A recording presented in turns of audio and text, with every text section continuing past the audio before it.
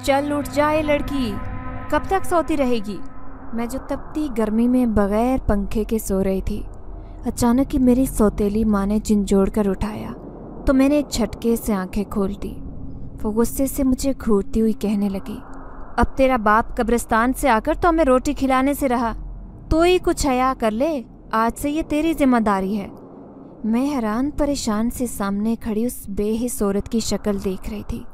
कि वो महज बारह साल की उम्र में मुझ पर पूरे घर की ज़िम्मेदारी डालना चाहती है। तभी उसने मेरे सर पर ज़बरदस्ती एक दुपट्टा पहनाया और कहने लगी, साथ वाली बानो भी तेरी ही हम उम्र है। देख अपनी माँ के साथ कैसे काम करवाने जाती है। मैं जो कल रात से भूखी थी खाने की, उसमें किचन की तरफ़ देखने लगी। लेकिन इतनी ज़रूरत नहीं थी कि किचन में जाकर अपने लिए कुछ लेकर आती। जानती थी कि वहाँ सिवाय सूखी रोटियों के और कुछ भी नहीं होगा। फिर अपनी सौते माँ के कहने पर मैं काम की तलाश में घर से बाहर निकल आई। जहाँ पर भी काम मांगने जाते, मुझे झिड़कियाँ लगाकर भगा देते। भूखी प्यासी हालत में मैं चार पाँच घंटे ऐसे ही सड़कों पर फिरती रही। बानो तो अपनी माँ के साथ बंगले पर काम करवाने जाती थी, लेकिन मैं भला कैसे और किससे काम मांगती? भूख, प्यास और थकन ने मेरा बुरा हाल कर दिया तभी मैं वहीं दरख्त के नीचे बैठकर बेबसी से रोने लगी। अचानक किसी ने मेरे सर पर हाथ रखा था। वो एक बूढ़ी फकीरनी थी। मुझे रोते देखकर मेरे करीब आकर बैठी और थैले में से रोटी निकाल कर दी। फिर उसने एक बोतल में पानी भी दे दिया। मैंने वही सूखी रूखी खाकर अल्लाह का शुक्र अदा किया। लेकिन अचानक से वो मेरे कान में सरगोशी करते हुए कहने लगी, लगता है घर से भागी हुई है।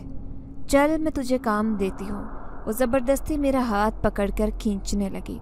मैं उसे हाथ छुड़वाने की कोशिश कर रही थी तो वो गुस्से ज़बरदस्ती मेरा हाथ पकड़कर खींचने लगी। मैं उसे हाथ छुड़वाने की कोशिश कर रही थी तो वो गुस्से से कहने लगी तो तूने मेरी रोटी क्यों खाई? अब रोटी खाई है तो उसका बदला भी दे। वो मुझे ज़बरदस्ती अपने साथ लेकर जाना चाहती थी, लेकिन मैंने उसे ज़ोर से धक्का दिया और पागलों की तरह वहाँ से भागने लगी। वो मेरे पीछे पीछे आ रही थी। न जाने क्यों मुझे उससे बहुत डर लग रहा था। तभी मैं घबरा कर एक खूबसूरत घर के खुले हुए गेट के अंदर जाकर वहीं पौधों के पीछे छुप गई। उसने शायद मुझे उस घर के अंदर जाते हुए नहीं देखा था। तभी वहीं से पलट कर कहीं और चली गई। अचानक मुझे अंदर से किसी और के खांसने की आवाज़ आई। शायद कोई बीमार था। मैं ये बात जानने के लिए जैसे ही कदम बढ़ाने लगी तो किसी ने मेरे कंधे पर हाथ रखा। जो ही पलट कर देखा तो मेरे पैरों तले से ज़मीन निकल गई। क्योंकि सामने खड़ा हुआ शख्स बहुत ही खौफनाक लग रहा था। मेरा नाम नीलम है था। मेरी सौतेली माँ बड़ी ही जालिम थी। पहले वो मुझ पर जुल्म सितम करती थी। मैं अक्सर ही घर में खाली पेट रहा करती। लेकिन जब से अब्बा का इंतकाल हुआ था, उसने तो मेरी रोटी बंद कर दी। हालाँकि मोहल्ले पड़ोस के लोग हमें यतीम समझकर राशन भी भिजवा दिया करते। लेकिन फिर भी मेरी सौतेली माँ उस राशन में से हिस्सा कभी भी ना निकालती। बल्कि वो सब अपने बच्चों को खिलाती। मेरे तीन और सौतेले बहन भाई थे, जो उम्र में मुझसे छोटे थे। कुछ दिन तक तो मोहल्ले पड़ोस के लोगों ने मेरी मदद की। फिर उन्होंने भी हाथ खींच लिया। अब घर में फाके होने लगे। ऐसे में मेरा जिस्म तो वैसे ही कमज़ोर था, क्योंकि मैं अक्सर भूखी रहा करती थी। लेकिन उस दिन मेरी माँ ने मुझे कहा कि, अब मुझे कमाने के लिए घर से बाहर निकलना होगा, क्योंकि मैं घर में सबसे बड़ी हूँ और उस पर बच्चे पालने की ज़िम्मेदारी भी है, क्योंकि उसके बच्चे अभी छोटे थे। मैंने बाहर की दुनिया अभी छोटे थे। मैंने बाहर की दुनिया भी नहीं देखी थी, हालाँकि कभी स्कूल का मुँह भी नहीं देखा, क्योंकि मेरी सौतेली माँ ने मुझे कभी स्कूल पढ़ने की इजाज़त भी नहीं दी। लेकिन उस दिन जब उसने मेरा खाना पीना बंद कर दिया तो मुझे काम ढूँढने के लिए बाहर निकलना ही पड़ा। लेकिन मैं पूरा दिन सड़कों पर मारी मारी फिरती रही। मुझे कहीं काम नहीं मिला।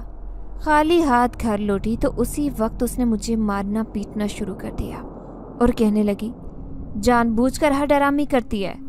तेरी शक्ल से साफ़ ज़ाहिर है कि तेरा पेट भरा हुआ है और देख तूने हमारा ख्याल नहीं किया। मेरे बच्चे भूखे हैं, मैं भूखी हूँ, लेकिन तू खाली आती घर लौट आई। मैं हैरान थी कि वो इतनी जालिम कैसे हो सकती हैं। मैं रोते हुए कहने लगी कि, मुझे कहीं भी काम नहीं मिला, मैं क्या करती? लेकिन उसे मेरी बात पर यकीन नहीं आया। पूरी रात में प्यासी बिस्तर पर लेटी रही। दूसरे दिन सुबह उठते ही पर लेटी रही। दूसरे दिन सुबह उठते ही फिर से काम की तलाश में निकल पड़ी।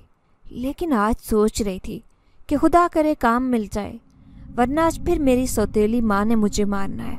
पूरा दिन में बंगलू में फिरती रही। होटल पर जाकर बर्तन वगैरह धोने का काम मांगती रही। लेकिन मुझे कहीं भी काम नहीं मिला। जानती थी कि आज फिर माँ ने मुझे मारना है और खाने के लिए भी कुछ नहीं देना। डरते डरते घर पहुँची तो वो मेरा इंतज़ार कर रही थी। आज मैं रात के ग्यारह बजे घर आई थी, लेकिन उसे मुझ पर गुस्सा आ रहा था। फिर वो गुस्से से कहने लगी, जानती हूँ तेरी चालाकियों को। जानबूझकर तुमने कोई काम ढूँढने की कोशिश नहीं की। मैं मार खाने के डर से उसे कहने लगी कि मुझे काम मिल गया है। कल से मैं काम पर जाऊँगी। यह सुनकर वो खुश हो गई। कहने लगी अच्छा कितनी तनख्वाह है और कब तनख्वाह मिलेगी? अब मुझे कुछ समझ नहीं आ रही थी। लेकिन मैंने उसे झूठ कहा कि मुझे काम मिल गया क्योंकि मैं जा जानती थी कि सच्चाई जानकर वो मुझे बहुत मारेगी। कल रात भी मैं अपने जिस्म में होने वाले दर्द की वजह से सो नहीं सकी। अब उसने मेरी जान बख्शी कर दी और खाना भी बना कर दिया। मैंने खुदा का शुक्र अदा किया और उस रब से मदद मांगने लगी कि वही मेरी मुश्किल आसान करे। अब मुझे काम ढूंढते हुए चौथा दिन हो गया था, लेकिन आज भी कोई उम्मीद नहीं थी। पूरा दिन में सड़कों पर भटकती रही, लेकिन कल वाले झूठ का ख्याल आया जो मैंने अपनी सोतेली माँ से कहा था। फिर रात के दस बज गए, लेकिन मुझे काम नहीं मिला। आज तो मैं उस घर जाना ही नहीं चाहती थी, क्योंकि फिर वो मुझसे कहती कि, आज पैसे क्यों नहीं लाई? हालाँकि उसने मुझे कहा था कि जिस जगह पर तुम काम करती हो उसके मालिक से कहना कि हमने थोड़े पैसे उधार दे दे, ताकि हम घर में राशन डलवा दें। जब मुझे काम ही नहीं मिला था तो कहाँ से लाती? अभी भी उसी बेबसी से सड़क के किनारे बैठी थी। सोच लिया था कि घर नहीं जाऊँगी था। मुझे डर भी लग रहा था क्योंकि उस सुनसान सड़क पर कोई भी नहीं था। ऊपर से मौजूद दरख्त जो बहुत ही खौफनाक था, उसकी शाखें ज़मीन को छू रही थी। ऐसे लग रहा था जैसे उसमें बहुत से लोग चुप कर बैठे हों।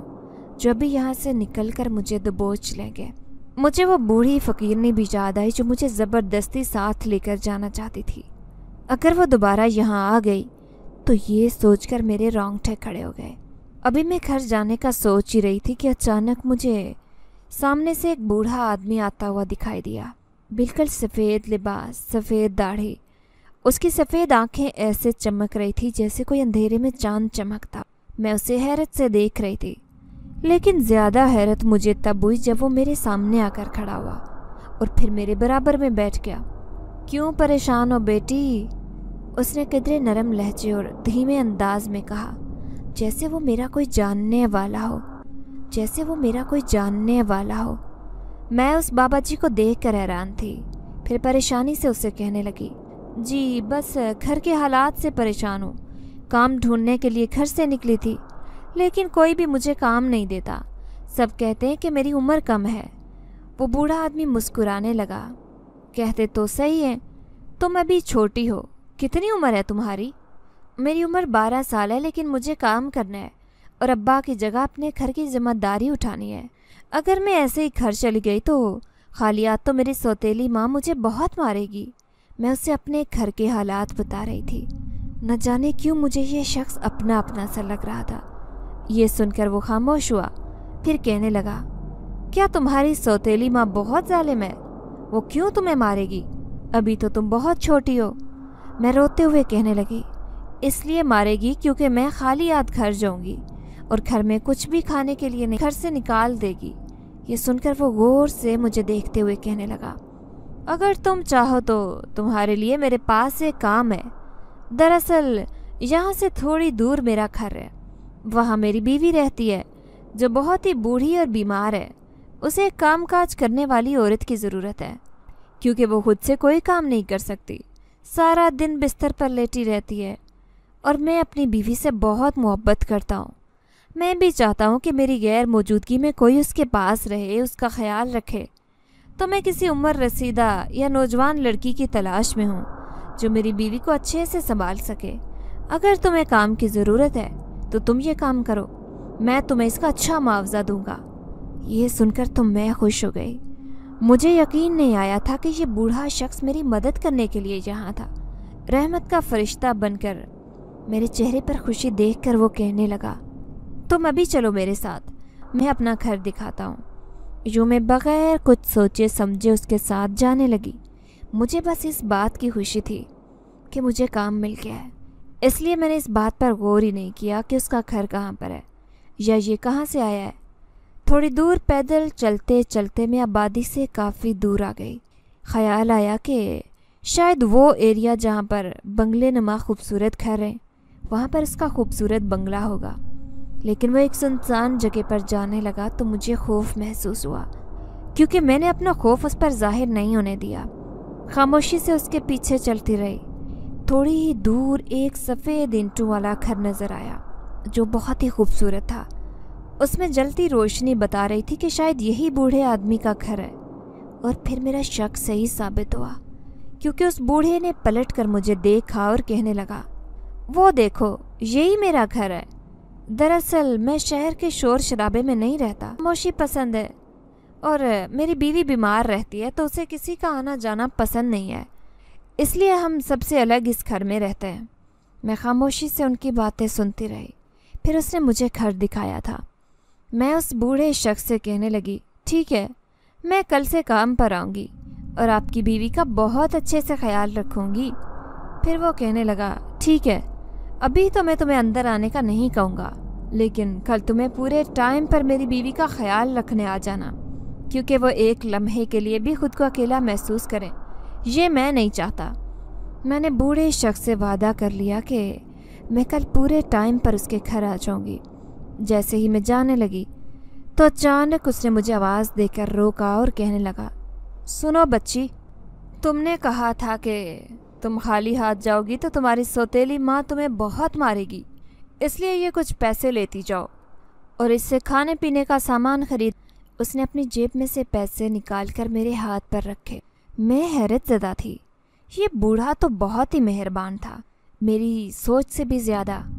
यूँ मैंने उसका शुक्रिया अदा किया और फिर तेज़ तेज़ कदमों से चलते हुए अकेले ही घर की तरफ़ जाने लगी। बार बार दाएँ बाएँ देखती रही कि कहीं कोई मेरा पीछा तो नहीं कर रहा, क्योंकि आधी रात से ज़्यादा बीत गई थी। फिर जो होटल खुला था, वहीं से मैंने खाना ख़रीदा। दिल में ख्याल आया कि आज तो खूब पेट भर कर खाना खाऊँगी। और अम्मा भी खुश हो जाएगी और छोटे बहन भाई भी। इसलिए उनके लिए बिस्किट वगैरह भी ले लिए थे। फिर जैसे ही खाना और दूसरा सामान लेकर घर गई तो सौतेली माँ गुस्से से कहने लगी, क्या ज़रूरत थी इतना कुछ खरीदने की? सारे पैसे मुझे ला कर दे देती। मुझे मायूसी हो गई। वो मुझसे कभी भी खुश नहीं होती। उसने मुझे एक रोटी और थोड़ा सा सालन दिया और बाकी सब अपने और अपने बच्चों की। लेकिन मैंने वही रोटी और सालन खाकर खुदा का शुक्र अदा किया कि उसने मेरी मदद की थी। तभी तो मुझे काम मिल गया था। अब मैं सुबह टाइम से उसी घर के सामने खड़ी थी, जैसे ही घर का दरवाज़ा बजाने लगी। अचानक घर का दरवाज़ा खुद ब खुद खुल गया। अब मैं अंदर थी। तभी सामने कमरे से मुझे किसी के खांसने की आवाज़ आई। शायद ये उसी बूढ़े की बीवी की थी। मैं उसी कमरे में चली गई। मैंने देखा वो बिस्तर पर आँखें बंद करके लेटी थी। फिर बंद आँखें खोले बिना ही कहने लगी, तुम आ गई? मेरे शोहर ने बता दिया था कि आज तुम मेरे पास आओगी। चलो जल्दी जल्दी घर की सफ़ाई करो और देखो, जो किचन में गोश्त रखा है वो ज़रूर पकाना, क्योंकि मुझे गोश्त बहुत पसंद है। मैं उसकी बात सुनकर जल्दी से कहने लगी, जी जी, मैं सारा काम कर रही हूँ। अब मैं भी परेशान हो गई, क्योंकि मुझे खाना पकाना तो आता ही नहीं था। हाँ सफ़ाई करना, बर्तन धोना, मुझे बहुत सफ़ाई करना, बर्तन धोना, मुझे बहुत अच्छे से आता था। मैंने पूरा घर चंद मिनटों में ही साफ़ कर लिया था। अब मैं परेशान सी किचन में खड़ी थी। तभी वो बूढ़ा आदमी आया और कहने लगा, परेशान मत तो मेरी बच्ची, ये खाना मैं खुद बनाऊँगा। दरअसल, मेरी बीवी नहीं जानती कि जब से वो बीमार हुई है, मैं ही उसे खाना बनाकर खिलाता हूँ। वो ये समझती है कि मैं ये खाना बाहर से लेकर आता हूँ। इसलिए बस तुम आराम करो। तुमने बहुत सा काम कर लिया है। फिर बूढ़े ने मज़ेदार सा खाना बनाया, जिसकी खुशबू पूरे घर में फैल गई। मैं हैरान थी कि बूढ़ा तो सब कुछ खुद ही कर लेता है। बाकी ये एक नेक इंसान है। फिर उसने भी मुझे खाना दिया तो मैं खुश हो गई। इतने दिन बाद अच्छा खाना नसीब हुआ था। वरना सौतेली माँ तो पेट भरकर खाना भी नहीं देती। मैंने देखा वो बूढ़ा शख्स अपने हाथों से अपनी बीवी को खाना खिला रहा था। मुझे बहुत अच्छा लगा। इख्तियार अम्मी की याद आई। काश मेरी अम्मी भी ज़िंदा हूँ, लेकिन वो तो मुझे पैदा करते ही मर गई थी। अगर वो ज़िंदा होती तो आज मैं यूँ दर दर की ठोकरें नहीं खा रही होती। ये सोचकर मेरी आँखों में आँसू आ गए थे। फिर जैसे ही शाम को मैं घर जाने लगी, उसने मुझे खाना भी दिया था। कहने लगा ये खाना छुपा कर रखना, ये सिर्फ़ मैंने तुम्हारे लिए दिया है, क्योंकि मुझे लगता है कि तुम्हें पेट भरकर खाना भी नहीं मिलता। तुम बहुत कमज़ोर हो रही हो। उसे मेरी कितनी फ़िक्र थी। बेख्तियार मेरी आँखों में आँसू आ गए। लेकिन, मेरी कोई भी चीज़ है, मैं उस जालिम औरत की आँखों से छुपा नहीं सकती थी। वो पहली नज़र में ताड़ लेती थी कि मेरे हाथ में क्या है। खाना लेकर मैं जल्दी जल्दी घर जाने लगी। घर पाँच से पाँच से नौ बज गए थे, लेकिन अम्मा ने मेरे हाथ में खाने की थैली देख ली थी। आज फिर मुझे पेट भर कर खाना नसीब नहीं हुआ, लेकिन दिल में ख्याल आया कि कम अज़ कम उस बूढ़े आदमी के घर तो मैं पेट भर कर खाना खा लेती हूँ। यही सोचकर जितना मिला उतना ही खाकर खुदा का शुक्र अदा किया, और फिर गहरी नींद सो गई। अब मैं हर रोज़ पाबंदी से काम पर जा रही थी। दिल लगाकर उस बूढ़ी की खिदमत करती। जो हर वक्त बिस्तर पर लेटी रहती। लेकिन जब मैं घर पर होती तो बूढ़ा आदमी न जाने कहाँ चला जाता। फिर जैसे ही खाने का वक्त होता, वो घर आ जाता और अपने हाथों से खाना तैयार करता। मैं भी खाना खाती और वो खुद अपने हाथों से अपनी बीवी को खाना खिलाता। ये देखकर मुझे बहुत अच्छा लगता, लेकिन एक दिन मैं हैरान रह गई, जब मैंने उस बूढ़े के साथ एक अजीब से खौफनाक चेहरे वाले आदमी को आते देखा। उसने अपना चेहरा छुपा रखा था, लेकिन मैंने कमरे में जाने से पहले उसका चेहरा देख लिया था। दोनों चुपके चुपके आपस में बातें कर रहे थे। बूढ़े शख्स की बीवी भी बहुत गौर से बातें सुन रही थी, लेकिन मुझे उनकी ज़ुबान समझ नहीं आ रही थी कि वो आपस लेकिन मुझे उनकी ज़ुबान समझ नहीं आ रही थी कि वो आपस में क्या कह रहे हैं। लेकिन मुझे उस शख्स को देखकर बहुत डर लगा, जो खामोशी से उस घर में आया और इतनी खामोशी से ही चला गया था। लेकिन अचानक ही जाते जाते उसकी नज़र मुझ पर पड़ी तो पलट कर गौर से मुझे देखने लगा। तभी वो बूढ़ा आदमी सरगोशी में उससे कुछ कहने लगा, जिसे देखकर उस बूढ़े शख्स से कहने लगा, ध्यान रखना, कभी भी किसी का एतबार ना करना। ये कहकर वो घर से बाहर चला गया। मुझे गुस्सा भी आया, कि आखिर उसने ऐसा क्यों कहा? मैं तो इतनी छोटी सी बच्ची हूँ, मैं क्या इनकी बातें किसी को बताऊँगी? शायद वो कोई अहम बातें कर रहे थे। फिर उस दिन के बाद से मुझे वो नज़र नहीं आया। लेकिन एक दिन उस बूढ़े आदमी की बात पर मैं हैरान रह गई, जब वो कहने लगा कि, अब से तुम रात को यहाँ आया करोगी। लेकिन मैं रात को कैसे आ सकती हूँ? मुझे अकेले डर लगता है। तुम्हें कुछ नहीं होगा जब तक मैं यहाँ पर हूँ। तुम्हें कोई कुछ नहीं कह होगा जब तक मैं यहाँ पर हूँ। तुम्हें कोई कुछ नहीं कह सकता। उसके अजीब से लहजे पर मैं हैरान रह गई। लेकिन मैं उससे पूछना चाहती थी कि वो मुझे दिन में क्यों नहीं यहाँ आने देगा? पहले तो उसकी बीवी की मैं दिन में आकर खिदमत करती, लेकिन अब रात को आना पड़ेगा। तो वो बूढ़ा शख्स कहने लगा, दरअसल, दिन में अपनी बीवी को लेकर मैं इलाज के लिए जाऊँगा। इसलिए तुम्हें ही रात को उसके पास आना पड़ेगा, और रात को मुझे एक ज़रूरी काम है। तकरीबन चौदह दिन तक के लिए मैं इस घर पर नहीं रुक सकता।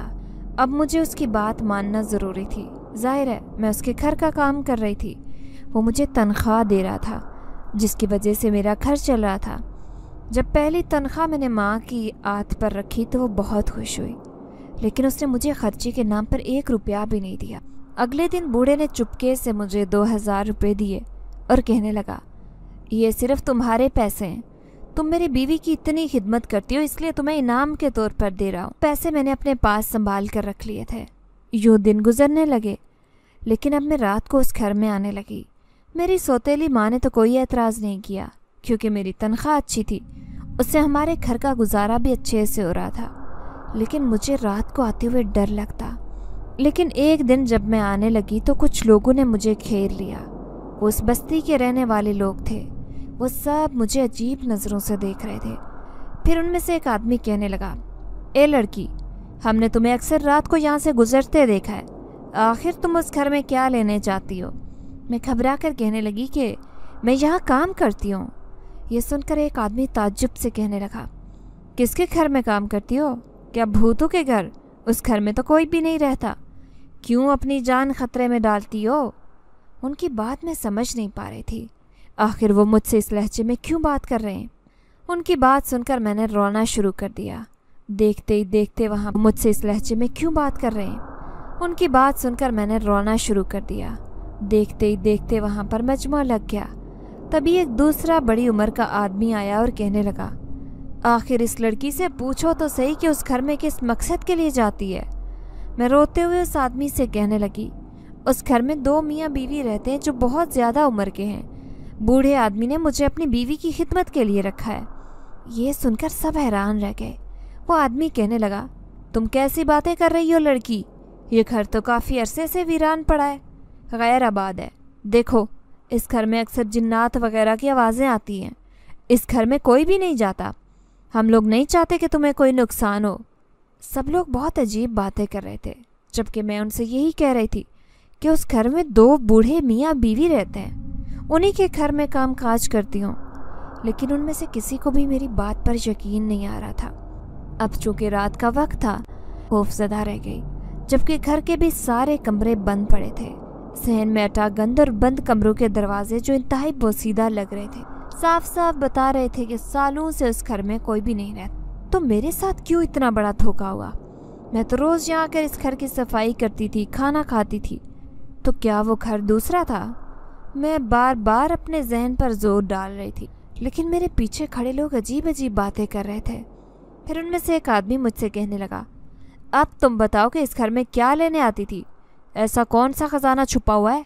देखो, तुम्हारी उम्र अभी कम है, इसलिए ऐसे चक्रों में ना पड़ो।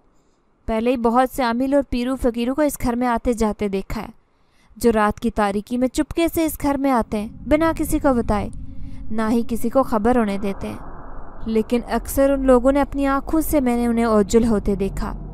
इसका मतलब है कि वो नज़रबंद वगैरह करते होंगे। ज़रूर इस घर से उनका कोई वास्ता है। सर उन लोगों ने अपनी आँखों से मैंने उन्हें ओजुल होते देखा। इसका मतलब है कि वो नज़रबंद वगैरह करते होंगे। ज़रूर इस घर से उनका कोई वास्ता है। मुझे उनकी बातें समझ नहीं आई। लेकिन मेरे साथ जो हुआ था, वो नाकबले यकीन था। बेबसी की हालत में उस घर से बाहर आ गई। तभी सामने खड़ा शख्स मुझे देखते हुए कहने लगा, देखो आइंदा तुम मुझे इस तरफ़ आते दिखाई ना दो, क्योंकि हम हमेशा से इस घर को ताला लगा रहे हैं। ये कहते उन्होंने मेरे सामने घर के दरवाजे को बंद किया और ताला लगा दिया, जबकि मैं खुद को इंतहाई बेबस महसूस कर रही थी। मुझे समझ नहीं आ रही थी कि मेरे साथ आखिर ऐसा क्यों हुआ है वो बूढ़ा और उसकी बीवी कहाँ चले गए? अगर मैं इस घर में रोज़ाना आती थी तो ये घर इतना गंदा क्यों था? ऐसे कई सवाल थे जो मेरे सामने मुँह खोल कर खड़े थे, लेकिन मेरी कम उम्री और कम अकली उन बातों को समझ नहीं पा रही थी।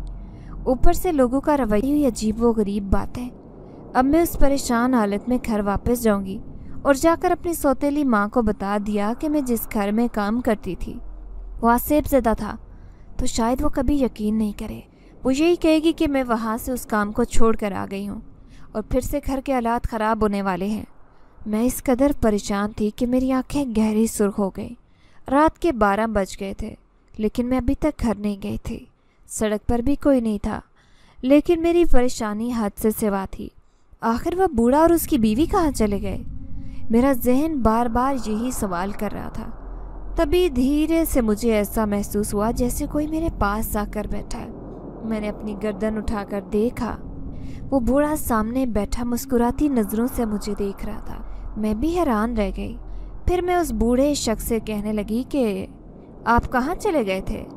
लोग तो कहते हैं कि वो घर जिसमें मैं काम करने जाती हूँ, वो जिन्ना करने जाती हूँ, वो जिन्नात का घर है, वहाँ पर इंसान नहीं रहते।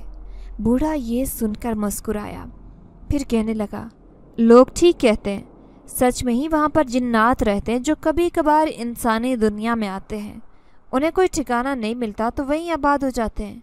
बूढ़ा शख्स अजीब खौफनाक बातें कर रहा था। मैं हैरत से कहने लगी तो फिर आप इस घर में कैसे रहते हैं? ये सुनकर वो अजीब से अंदाज में मुस्कुराया और कहने लगा, क्योंकि मैं भी एक जिन्नात हूँ। अचानक ही उसकी आँखें चमकी थी। मुझे खौफ सदा कर दिया। मैं हैरत से उसके चेहरे को देखती रही। वो भारी लहजे में कहने लगा, मैं सच कह रहा हूँ। मैं एक शहनशाह जिन्नात हूँ। मैं इंसानी दुनिया में एक ख़ास मकसद से आया था। वो मकसद ये था कि मेरी बीवी जो बहुत बीमार रहती थी, उसे एक बहुत इलाज की ज़रूरत है। वो इलाज करवाना मेरे लिए मुमकिन नहीं था। मैं बड़ा परेशान था, क्योंकि मैं अपनी बीवी नहीं था। मैं बड़ा परेशान था, क्योंकि मैं अपनी बीवी से बहुत मोहब्बत करता था। लेकिन अचानक ही एक दरवेश फ़कीर हमारे कबीले में आया। वो दरवेश तो एक जिन ज़्यादा था, लेकिन उसके रबते इंसानी अमलों के साथ थे। वो मुझसे कहने लगा कि, तुम्हारी बीवी सिर्फ़ एक ही सूरत में बच सकती है। अगर उसका इलाज किसी इंसानी आमिल से करवाओ जो बहुत माहिर है, उसके हाथ में बहुत शफा दी है खुदा ने।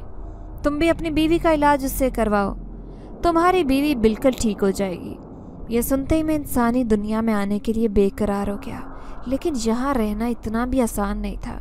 सबसे पहले मुझे ठिकाना ढूंढना था। फिर उस ठिकाने को ढूंढकर मैं अपनी बीवी को अपने साथ ले आया और उसका इलाज एक इंसानी आमिल से करवाने लगा। वो आमिल पहले तो मुझे देखकर हैरान रह गया। लेकिन जब मैंने उससे बताया कि मैं एक शहनशाह जिन्नात हूँ तो ये सुनकर बहुत खुश हुआ और मेरी इज़्ज़त साथ रहता था, क्योंकि उसके आस्थाने पर जाना मेरे लिए मुमकिन नहीं था। वहाँ बहुत से लोग मुझे पहचान सकते थे। तुम एक कम उम्र बच्ची थी, इसलिए तुमने मुझे नहीं पहचाना, क्योंकि तुम्हारा जहन उस तरफ़ गया ही नहीं। जो भी गैर मामूली बात तुम्हारे सामने हुई, तुम उसको नज़रअंदाज कर देती लेकिन उस शामिल के इलाज की वजह से आहिस्ता आहिस्ता मेरी बीवी बिल्कुल ठीक हो गई है। यही वजह है कि एक दिन लोगों ने तुम्हें उस घर में जाते देखा। अब मैं भी परेशान था, क्योंकि उस घर में कोई भी इंसान नहीं जाता था, जबकि मैं इतने दिन से लोगों से चुप कर तुम्हें अपने पास बुला रहा था। सिर्फ़ अपनी बीवी की खातिर ताकि तुम उसकी खिदमत करो, क्योंकि अगर मैं कहीं चला जाता तो मुझे अपनी बीवी की वजह से परेशानी रहती कि कहीं लोग उसे देख न लें। कुछ लोग जिन्नात की मौजूदगी महसूस कर लेते हैं। लेकिन मैं तुमसे बहुत खुश हूँ, क्योंकि तुमने मेरी बीवी की बहुत खिदमत की। मेरा दिल खुश कर दिया। तुम वाकई एक बड़े इनाम के दिल खुश कर दिया। तुम वाकई एक बड़े इनाम के मुस्तक हो। यह सुनकर मैं घबरा गई और कहने लगी, मुझे यकीन नहीं आता आपकी कहानी मुझे ऐसे लगती है जैसे मैंने कोई किताब पढ़ी हो। आप झूठ कहते हैं। आप कोई जिन्नात नहीं है। मैं भला आपकी बात पर कैसे यकीन कर सकती हूँ? यह सुनकर वह शहनशाह जिन्नात ज़ोर ज़ोर से हंसा और कहने लगा अच्छा अगर यकीन नहीं आता तो अब आ जाएगा। ये कहते वो अचानक मेरे सामने से गायब हो गया, जबकि मैं बुद्ध की तरह साकत बैठी थी। घबरा कर इधर उधर देखने लगी, वो कहीं भी नहीं था, फिर पागलों की तरह घर की तरफ़ जाने लगी। अब मैं समझ गई थी कि मेरे साथ ये सब क्यों हुआ और कैसे हुआ। सच में वो एक जन्नात था जो रात के अंधेरे में मेरे पास आया मुझे काम देने के लिए। वो किस कदर लजीज खाना बनाया करता? वो भी चंद मिनट में वो ये सब कुछ जादू से कर रहा था। ये सोचकर मैं सख्त खौफजदा पागलों की तरह भागती अपने घर की तरफ़ जा रही थी। रुको बेटी। मैंने जैसे ही पलट कर देखा, वो शहनशाह जिन्नात मेरे पीछे खड़ा था। लेकिन उसकी नज़रों में मेरे लिए मुस्कुराहट थी। वो मुझे खौफजदा नहीं करना चाहता था। उसने धीरे से मुझे अपने पास बुलाया और कहने लगा, अगर खाली हाथ घर जाओगी तो तुम्हारी सौतेली माँ फिर से तुम्हें मारेगी। ये लो, ये पैसे लेती जाओ। ये तुम्हारी तनख्वाह के पैसे हैं। वो पैसे मैं नहीं लेना चाहती थी, लेकिन उस वक्त मुझे पैसों की ज़रूरत थी। मैंने जल्दी से पैसे पकड़े और दौड़ती हुई घर की तरफ़ आई। आधी रात को घर पहुँची तो अम्मा भी हैरान रह गई। फिर मैंने वो पैसे उनके हाथ में रखे। दूसरे दिन अम्मा से कहने लगी कि मैंने वो काम छोड़ दिया है, क्योंकि वो मालिक कहीं चले गए हैं। यह सुनकर उसके चेहरे पर गुस्से के तासुरात नमोदार हुए। लेकिन मैंने उसे कह दिया कि मैं जल्दी कोई दूसरा काम ढूंढ लूँगी। पूरी रात में रोती रही। मुझे न जाने क्यों इतना डर लग रहा था। बार बार मुझे अपने अब्बा और अम्मा याद आ रहे थे, याद आ रहे थे। न जाने मेरे साथ ये सब क्यों हुआ था। दूसरे दिन दिन के उजाले में मैं काम ढूंढती फिर रही थी। फिर मुझे एक कारखाना मिल गया जहाँ पर मेरे जैसी कई कम उम्र बच्चियाँ काम कर रही थी। मैं भी उनके साथ काम करने लगी, लेकिन उनकी दिहाड़ी बहुत कम थी। एक दिन काम करते करते अचानक की मशीन में मेरा हाथ आया तो मेरे हाथ से खून बहने लगा। शुक्र था कि उंगलियाँ बच गई थी, वरना मैं ज़िंदगी भर के लिए माजूर हो जाती। कारखाने का मालिक मुझे देखकर गुस्सा करते हुए कहने लगा, इस छोटी बच्ची को किसने रखा है काम पर? देखो अगर इसे कोई नुकसान हो जाता तो ये हमें थाने में बंद करवा देती। उसने उसी वक्त मुझे काम से निकाल दिया। अब मैं खुद को बहुत अजियत में महसूस कर रही थी। तकलीफ़ की शिद्दत से बार बार मेरी आँखों में आँसू आ रहे थे। आखिर ये सब मेरे साथ क्यों हो रहा है? क्यों मुझे इतनी बड़ी ज़िंदगी मिली है? बेख्तियार मेरे दिल में शिकवा आया। आज फिर मैं घर नहीं जाना चाहती थी। चाहता था कि किसी यतीम खाने में चली जाऊँ। बाकी की ज़िंदगी वहीं पर गुजारूं। कम अज़ कम सौतेली माँ के जुल्म सितम से तो नजात मिल जाएगी। बेबसी की हालत में मुझे, मैं वहीं सड़क के किनारे बैठकर रोने लगी। आते जाते लोग शायद मुझे कोई फ़कीर समझ रहे थे। तरस खाती निगाहों से मुझे देखते वो मेरे पास से गुजर कर चले जाते लेकिन अचानक ही कोई धीरे से मेरे पास आकर बैठा तो मुझे वही मखसूस खुशबू महसूस होने लगी, जो उस बूढ़े के वजूद से आती थी। मैंने हैरत से गर्दन उठाकर उसकी तरफ़ देखा तो वो मेरे सामने बैठा था, लेकिन उसकी नज़रों में मेरे लिए तकलीफ़ थी। वो कहने लगा, तुम इतनी तकलीफ़ में हो तो मुझे भी अपने वजूद में वो अजियत महसूस हो रही है। लाओ, मैं तुम्हारे हाथ पर मरहम लगा दूँ। वो शहनशाह जिन्नात मेरे हाथ पर मरहम लगा रहा था। उसके मरहम लगाते ही मेरा सारा दर्द गायब हो गया। मैं हैरान थी कि इतनी जल्दी सारा दर्द कैसे गायब हो गया? गायब हो गया, जबकि ये चोट तो बहुत पहली थी। लेकिन फिर मैं समझ गई कि ये सब कुछ उसने अपनी ताकत से किया है, क्योंकि जिन्नात बहुत ताकतवर होते हैं, वो कुछ भी कर सकते हैं। क्यों इतनी परेशान होती हो मेरी बेटी? मैं तुम्हारे साथ हूँ ना? देखो, और मेरी बीवी भी बिल्कुल ठीक हो गई है। मैं सिर्फ़ एक दिन के लिए यहाँ आया हूँ। उसके बाद मैं हमेशा के लिए अपने कबीले में वापस लौट जाऊँगा। मैं रोते हुए कहने लगी, मुझे इस बात की खुशी है कि आपकी बीवी ठीक हो गई है। लेकिन खुदा ने मेरी ज़िंदगी में बहुत तकलीफ़ें लिखी हैं, क्योंकि मेरी सौतेली माँ बहुत ालिम है और मुझे कहीं काम भी नहीं मिल रहा। आइंदा तुम कभी परेशान नहीं रहोगी, बल्कि तुम्हारी आँखों में सिर्फ़ खुशी होगी। वह अजीब बात कर रहा था। मैं हैरत से उसे देखने लगी तो वो कहने लगा, मैं सच कह रहा हूँ, अब से तुम सिर्फ़ मुस्कुराओगी। दुख का एक आँसू भी तुम्हारी आँख में नहीं होगा। ये नामुमकिन से बात थी। यकीन नहीं आया। तभी उसने चादर में छुपी एक लाल रंग की पोटली मेरे हाथ पर रखी और सरगोशी में कहने लगा, यूँ समझ लो, ये जादुई पोटली है। इसके अंदर मौजूद वो ख़जाना जो इंतहाई कीमती है, वो तुम्हारी ज़िंदगी बदलने वाला है। मुझे हैरत भी हो रही थी। कैसा कैसे हो सकता है कि उस लाल पोटली में कीमती ख़जाना हो? जैसे ही मैंने उसे खोल कर देखा तो मेरे होश उड़ गए। सच में ये जेवरात से भरी हुई थी। जिनकी चमक धमक रात के अंधेरे में भी आँखों को खैरा कर रही थी। मेरे हाथ पाँव काँप रहे थे। मैं कप कपाते लहजे में उन शहनशाह जिन्नात से कहने लगी, क्या ये सब मेरा है? उसने हाँ में सर हिलाया और कहने लगा हाँ लेकिन अब तुम बड़ी हो चुकी हो।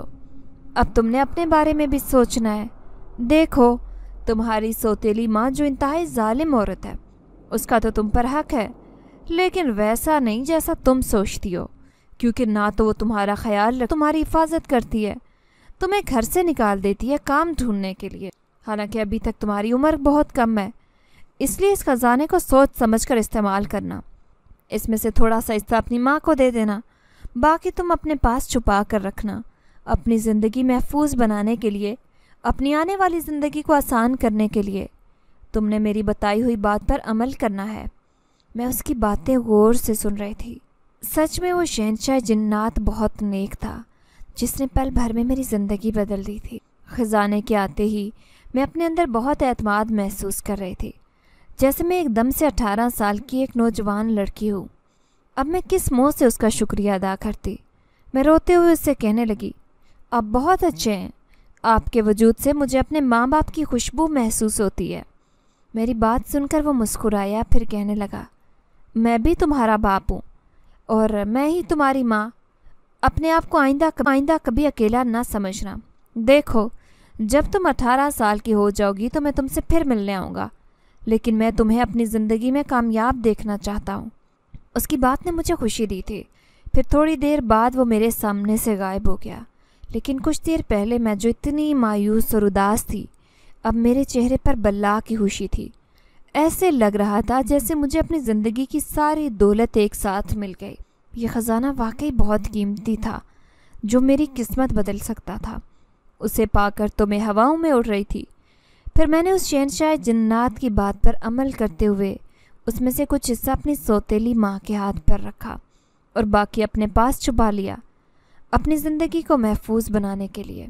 ख़जाने को देख कर तो मेरी माँ भी खुश हो गई थी, कहने लगी, अरे, ये ख़जाना तो लाखों रुपए का है। मैं दिल ही दिल में मुस्कुराई और सोचने लगी कि जो ख़जाना मेरे पास है, वो सब वो तो करोड़ों का है, जो सिर्फ़ मेरा है। मुझे दुनिया की कोई ताकत गमगीन नहीं कर सकती। मैं भी और लोगों की तरह एक खुशहाल ज़िंदगी गुजारूँगी। फिर सौतेली माँ से कहने लगी अच्छा हम दोनों मिलकर इस काम से कारोबार करते हैं। देखो, हम कपड़े वगैरह ले आते हैं। उन्हें घर में ही सेल करना शुरू कर देंगे। इससे हमारी आमदनी भी होगी और काम कारोबार भी चल पड़ेगा। मैं भी उनकी बात से मुतफिक थी। अब वो हर बात मुझसे करने की आदि हो गई थी, क्योंकि मेरे छोटे बहन भाई अभी कम उम्र थे। लेकिन जैसे ही हम दोनों ने मिलकर कारोबार शुरू किया, मोहल्ले के लोग भी हमारा एहसास करने लगे। सब कहते कि, ये लावारिस औरतें हैं, हमें इनकी मदद करनी चाहिए। फिर औरतें हमसे अक्सर ही कपड़े ख़रीदती। अम्मा ने साथ साथ मेरी दूसरी चीज़ें भी रखना शुरू कर दी। देखते ही देखते कारोबार खूब चलने लगा। फिर एक दिन अम्मा कहने लगी, अब तो कारोबार चल निकला है। लगता है हमें दो कमरा ख़रीदना चाहिए। ये घर वैसे भी बहुत कच्चा है। अम्मा ने एक कमेटी डाली थी जिसके खुलते ही हमने मकान तब्दील कर लिया। लेकिन वो ये राज नहीं जानती थी कि मेरे पास अभी दूसरा ख़जाना भी मौजूद है, जिसे हम ऐश कर सकते हैं ज़िंदगी भर। लेकिन अभी मैं उस ख़जाने का राज किसी को नहीं बताना चाहती थी। कब किसकी नीयत ख़राब हो जाए, क्या पता? यही सोचकर मैंने ख़जाने वाली बात छुपा ली थी। फिर अम्मा ने तो घर में छोटी सी दुकान बना ली थी। लेकिन मैंने अपने ख़जाने को बेचकर उससे हासिल होने वाली रकम से शहर की बड़ी मार्केट में एक बहुत बड़ी दुकान ख़रीदी और वहाँ अपने कारोबार का आगाज़ कर दिया। सब लोग हैरान थे कि इतनी छोटी सी लड़की, और देखो कितनी दौलतमंद है। मुझे दौलतमंद करने वाला वो शहनशाह जन्नात था, जिसने मेरी किस्मत बदल दी थी। फिर मैंने दुकान में काम करने के लिए दो तीन मुलाजिम भी रखे। यूँ, आप मेरी मदद हो रही थी। देखते ही देखते हम माँ बे, माँ बेटी के हालात ऐसे बदले कि लोग दांतों तले उंगलियाँ दबा कर रह गए। सब मुझसे पूछते कि, आखिर मैंने ऐसी कौन सी जादू की छड़ी घुमाई जिससे मेरे घर के हालात बदल गए? लेकिन ये राज सिर्फ़ मेरे सीने में दफन था। अपनी सौतेली माँ को भी कह दिया था कि, वो ख़जाना मैंने एक सड़क के किनारे से उठाया था जो बिल्कुल सुनसान थी। तभी वो कहने लगी हाँ लगता है खुदा हमारी किस्मत बदलना चाहता था। उसने अपने पिछले किए गए सारे जुल्म की मुझसे माफ़ी मांग ली। मैंने भी उन्हें माफ़ कर दिया, क्योंकि वक्त और हालात बदलते देर नहीं लगी। आज मैं उस घर की सरबराह थी। मेरे हुक्म के बगैर पत्ता भी नहीं हिलता। देखते ही देखते कई साल गुजर गए। अब मैं अठारह साल की एक नौजवान लड़की बन गई थी। ज़िंदगी में बहुत सी ठोकरें खाने के बाद मैं वक्त से पहले एक उम्र रसीदा औरत की तरह सोचने लगी। गो कि मेरी उम्र सिर्फ़ अट्ठारह साल थी, लेकिन फिर भी मेरी सोच एक चालीस साल औरत की तरह थी। मैं लेकिन फिर भी मेरी सोच एक चालीस साल औरत की तरह थी। मैं एक कारोबारी औरत थी, वो भी सिर्फ़ अठारह साल की उम्र में। मैं अपनी दुकान पर हर किस्म के कपड़े सेल किया करती थी। शादी ब्याह के भी और आम पहनने वाले लिबास भी। एक दिन मैं दुकान पर अकेली थी, जब अचानक ही दो मियाँ बीवी मेरी दुकान पर आए। मुझसे कहने लगे कि, हमारी बेटी की शादी है। हमें कोई अच्छा सा शादी का जोड़ा दिखाओ। मैंने अपनी दुकान का सबसे खूबसूरत लाल रंग का सूट उनके सामने रखा। लेकिन वो आदमी बार बार मुझे देख रहा था। उसकी चमकती सफ़ेद आँखें मुझे हैरत में मुबतला कर रही थी। तभी दुकान में लगी आईने पर मेरी नज़र पड़ी। तो मेरे पैरों तले से ज़मीन निकल गई। उन दोनों मियाँ बीवी की शीशे में कोई शबी उबर नहीं रही थी। जबकि मैं खौफ से कांपने लगी। मैं हैरान थी कि आखिर उन दोनों को शीशे में दिखाई क्यों नहीं देते वो? मैं खौफ खौफजदा होने लगी। वो बूढ़ा अजीब अंदाज में मुस्कुराने लगा, लेकिन अपने चेहरे से नकाब हटाया। मेरे होश उड़ गए। ये दोनों तो वही थे जो आज से सात आठ साल पहले मेरी ज़िंदगी में आए थे। तभी वो बूढ़ा मेरे कान में सरगोशी करते हुए कहने लगा। मैंने कहा था ना कि मैं तुमसे मुलाकात करने ज़रूर आऊँगा। जब तुम अठारह साल की हो जाओगी तो देखो मैं तुमसे मिलने आया हूँ। रात की तारीकी में मुझे और भी डर लग रहा था। लेकिन फिर ख्याल आया कि मुझे तो इनका शुक्रिया अदा करना चाहिए।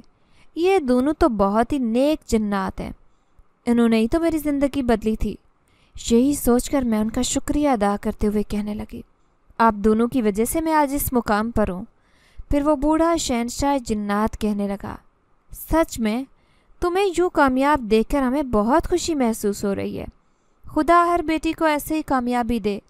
दरअसल, हमारी बेटी की शादी है तो इसलिए हम चाहते हैं कि उसकी शादी का जोड़ा बहुत खूबसूरत हो, जिसे देखकर वो खुश हो जाए।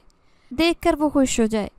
मैं जल्दी से कहने लगी, ये मेरी दुकान का सबसे खूबसूरत, कीमती लिबास है। मैं चाहती हूँ कि आप अपनी बेटी के लिए ये सूट लेकर जाएँ और मेरी तरफ़ से ये खूबसूरत तोहफ़ा है।